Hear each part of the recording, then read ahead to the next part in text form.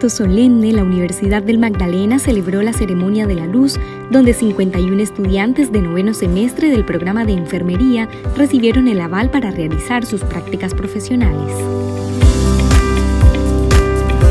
Me siento, la verdad, muy agradecida con la universidad por todo el apoyo que me han brindado. El estudiar ahora con matrícula cero me permitió poder terminar mi carrera profesional. Estoy orgulloso de mis compañeros, de mí mismo también, que después de los semestres difíciles presenciales, los semestres difíciles virtuales, y por fin podemos decir que ya llegamos a la recta final y espero con ansias que todos podamos pasar sin ningún problema estas últimas prácticas.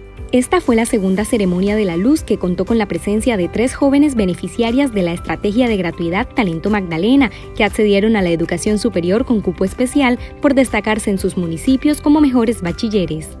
Yo llegué acá a la universidad eh, por medio de la beca Talento Magdalena, eh, siendo mejor ICFES de mi colegio.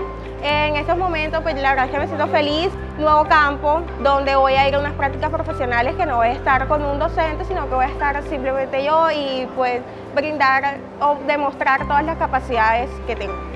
Luego de recibir las tocas y las placas, los estudiantes emprenden la última etapa de su formación en instituciones clínicas y comunitarias, confiados en que pondrán en práctica los conocimientos adquiridos en este programa que cuenta con acreditación internacional.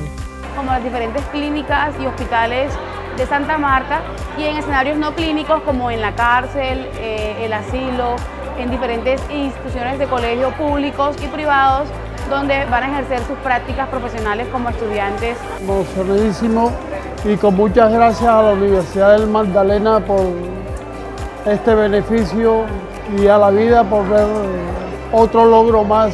Muy bien, que siga así avanzando más y con mucho orgullo.